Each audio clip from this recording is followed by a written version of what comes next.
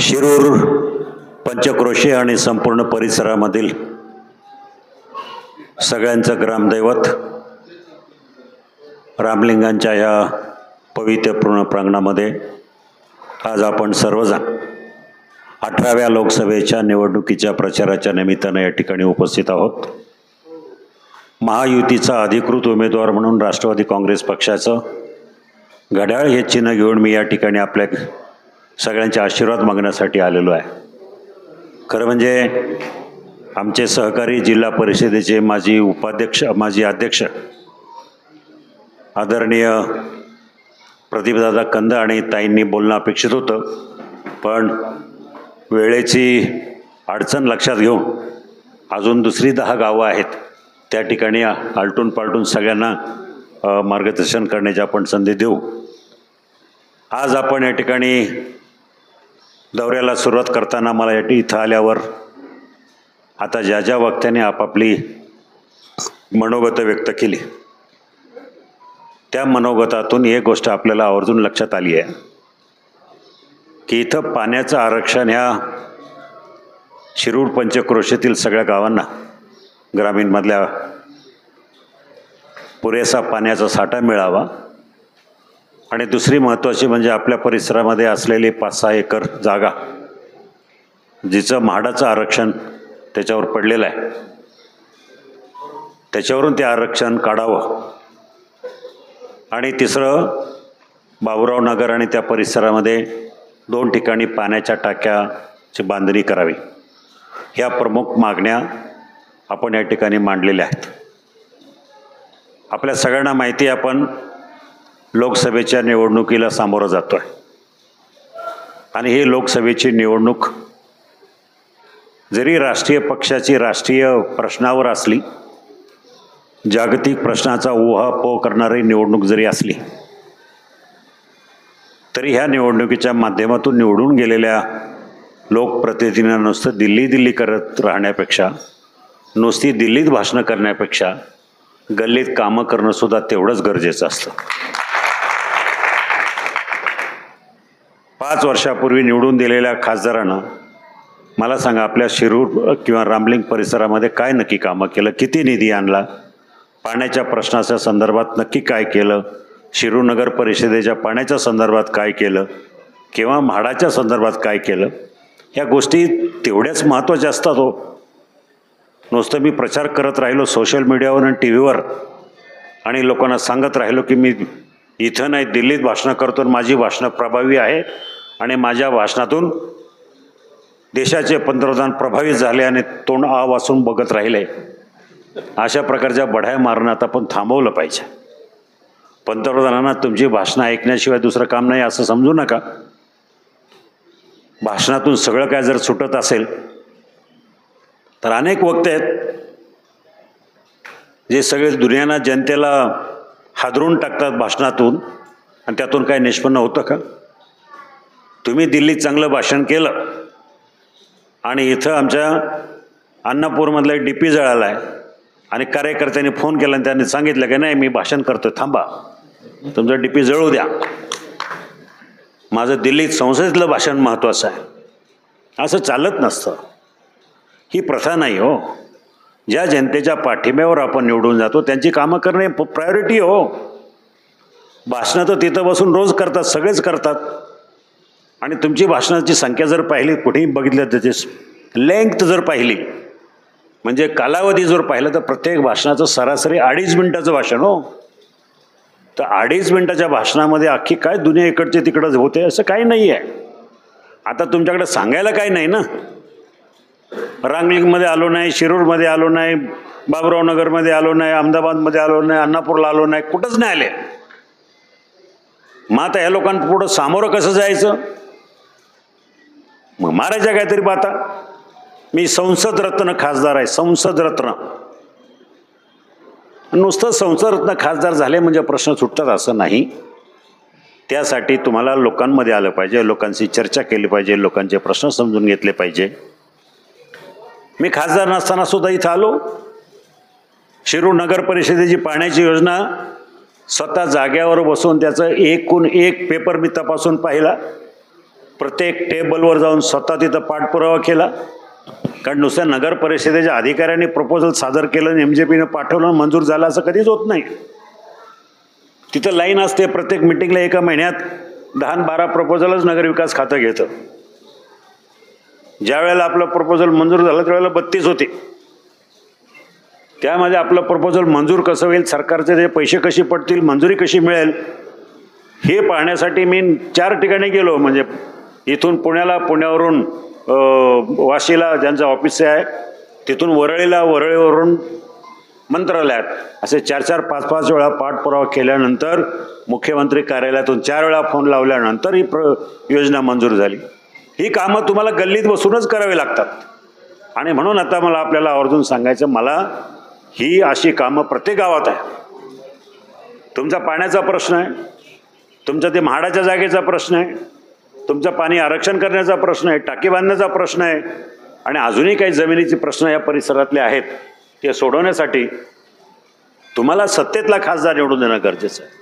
उद्या येणारं सरकार राज्यामध्ये महायुतीचं असणार आहे. हे सांगायला काय ज्योतिषाची गरज नाही आपल्याला. पुन्हा ही त्रिमूर्ती सत्तेवर येणार आहे. आमचे नेते अजितदादा देवेंद्रजी फडणवीस आणि एकनाथभाई शिंदे या तिघांचं संयुक्ती सरकार पुन्हा सत्तेवर येणार राज्यामध्ये. आणि केंद्रामध्ये कोणालाही विचारलं अगदी ग्रामीण भागातल्या शेतकऱ्यांना कोणालाही जरी विचारलं तर तो सांगेल दिल्लीमध्ये सरकार हे नरेंद्र मोदीचंच येणार आहे. मग नरेंद्र मोदीजींचं सरकार जर येणार असेल मग तिथं विरोधी पक्षाचा खासदार निवडून दिला तर काय होतं याचा अनुभव आपण गेल्या पाच वर्षात घेतलाय. अहो माझा पुणा नाशिक रेल्वेचा प्रश्न. पुणे नगर शिरूर रस्त्याचा जो पुणे शिरूर नगर रस्त्याचा प्रश्न हायवेचा चाकणच्या ट्रॅफिकचा प्रश्न हे सगळे प्रश्न सोडवण्यासाठी तुम्हाला सत्तेतला खासदार पाहिजे. आणि मी आवर्जून सांगतो आज पुणे नाशिक रेल्वे प्रकल्प पूर्ण करण्यासाठी साधारण चोवीस हजार कोटी रुपये लागणार आहे. आणि तिन्ही चारी हायवे आपल्या मतदारसंघातल्या ट्रॅफिक जाम असणारे रस्ते हायवे त्याच्यावर फ्लायओव्हर त्याच्यावर काय हे सगळं करण्यासाठी वीस हजार कोटी.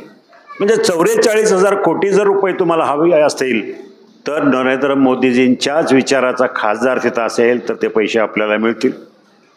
नाही तर विरोधी पक्षाचा खासदार निवडून गेला तर जसं आपलं पाच वर्षापूर्वी वाटोळं झालं रुपया कुठल्या गावात आला नाही. नुसती जाहिरातबाजी करण्यात आली. नुसतं लोकांना सांगण्यात आलं की मी हे केलं मी ते केलं कारण प्रत्यक्षात काही केलं नाही. म्हणून अशा खासदाराला आपण आपल्या पद्धतीनं कोणाला मतदान करायचं आहे पाच वर्षापूर्वी निवडून गेल्यावर आपल्या काय अपेक्षा होत्या? आपण सगळ्यांनी काय ठरवलं होतं? की आपला खासदार टी व्हीतून आता प्रत्यक्षात जनतेत येईल. मालिका विश्वाला रामराम करेल. आपल्या बांधावर येईल. आपल्या गोरगरिबांच्या सुखदुःखामध्ये सहभागी होईल. ह्या सगळ्या आपल्या निराश अपेक्षा निराशा झालेल्या आहेत. म्हणून मला आपल्याला विनंती करायची मी जास्त काही बोलणार नाही. आपला जो प्रश्न आहे बैलगाड्याचा. आता दादा तुम्ही सांगितलं की बाबा ती जागा म्हाडाची जागा बैलगाड्याची आहे. आता मी पण धर्मसंकटात आलो. मी म्हाडाचा चेअरमन आहे. आणि दुसऱ्या बाजूला बैलगाडा क्षेत्राचा सगळ्यात जास्त मोठा पुरस्कर्ता मी आहे. त्यामुळं काळजी करू नका. माझ्या जनतेचा ह्या भागातल्या लोकांचा प्रश्न माझ्या दृष्टीने महत्त्वाचा आहे. म्हाडाकडं भरपूर जागा आहे. मी निवडणूक झाल्यानंतर आपल्या सगळ्यांची बैठक लावू आणि हा प्रश्न लवकर सोडू. काळजी करू नका. मी तुमच्याबरोबर आहे. माझ्यामुळं हा प्रश्न सुटेल याची मी आपल्याला खात्री देतो.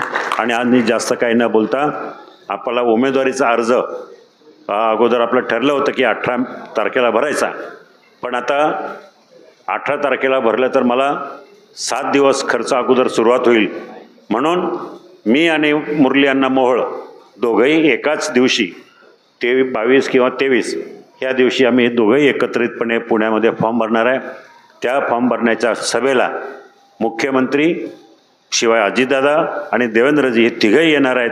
त्या तिघांच्या तारखेवर आहे बावीस किंवा तेवीस. त्यानंतर आपण मोठ्या संख्येनं त्या ठिकाणी फॉर्म भरायला जाऊ. पण एक लक्षात ठेवा ही निवडणूक तुमच्या आमच्या दृष्टीनं अतिशय प्रतिष्ठेची आहे. आपल्याला मोदीजींना निवडून द्यायचं आहे गेल्या दहा वर्षात मोदीजींचा जर कारभार पाहिला तर मी राजकारणात आहे. मी जवळ पंधरा वीस वर्ष लोकसभा जवळून पाहिली. मी पंचवीस तीस वर्ष राजकारण जवळून पाहिलं. मी व्यवसायामध्ये असलं त्यासुद्धा वीस वर्ष व्यवसायात सुद्धा काढलं. आणि हे व्यवसायात काम करत असताना जगभर फिरलो. पण पूर्वीची भारताची प्रतिष्ठा आणि आत्ताची भारताची प्रतिष्ठा याच्यामध्ये जमीन आसमानचा फरक आहे म्हणून मला आपल्याला विनंती करायची. नरेंद्र मोदीजींच्या पाठीशी उभं राहण्यासाठी यावेळेला मला बहुमतानं विजय करा. अजितदादा पवार आणि देवेंद्रजी फडणवीस आणि एकनाथ शिंदे यांच्या सरकारच्या पाठीशी उभं राहण्यासाठी मला निवडून द्या. त्यांच्याकडनं काम आणून द्यायची जबाबदारी माझी आहे हे मी या ठिकाणी सांगतो. एक गोष्ट आवर्जून सांगेन.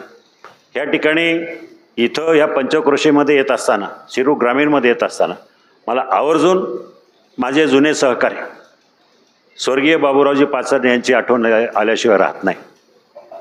त्यांनी ह्या भागामध्ये घराघरात ह्या पंचक्रोशीमध्ये आणि तालुक्यामध्ये घराघरामध्ये त्यांचे संबंध होते. त्यांचं वागणं त्यांचं प्रत्येकाशी काम करण्याची पद्धत मी जवळून पाहिली आहे. अनेक वेळाने त्यांच्या ऑफिसमध्ये सुद्धा मी त्यांच्याबरोबर बसून लोकांचे प्रश्न ऐकून घेण्यामध्ये मी अनेक वेळा तिथं साक्षीदार राहिलो आहे बाबूरावजी आणि मी दहा वर्ष ह्या तालुक्यामध्ये खरं म्हणजे आमची जोडीच ओळखली जायची संताजी आणि धनाजी. दुर्दैवानं त्यांनी अनेक कामाला पुढाकार घेतला. आज जे लोकांमध्ये ओरडून ओरडून सांगतात धर्मवीर संभाजी महाराजांचं समाधीस्थळ समाधीस्थळ. धर्मवीर संभाजी महाराजांचा प्रश्न खऱ्या अर्थानं बाबूराजांच्या जिव्हाळ्याचा प्रश्न होता. मी स्वतः त्याला साक्षी आहे.